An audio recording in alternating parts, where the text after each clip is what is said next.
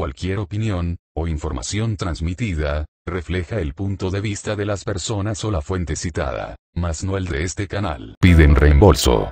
Luis Miguel colmó la paciencia de fans en México por esta razón. Usuarios lo abuchearon varias veces. Aunque la carrera de Luis Miguel volvió a la cima del éxito por su bioserie, sus presentaciones en vivo la están llevando hacia abajo nuevamente. Tan solo en el concierto del lunes en el Auditorio Nacional, los asistentes quedaron tan inconformes que pidieron su reembolso. De acuerdo con testigos, el cantante no sabía las letras de sus canciones, las cantaba la mitad o ya a punto de terminar.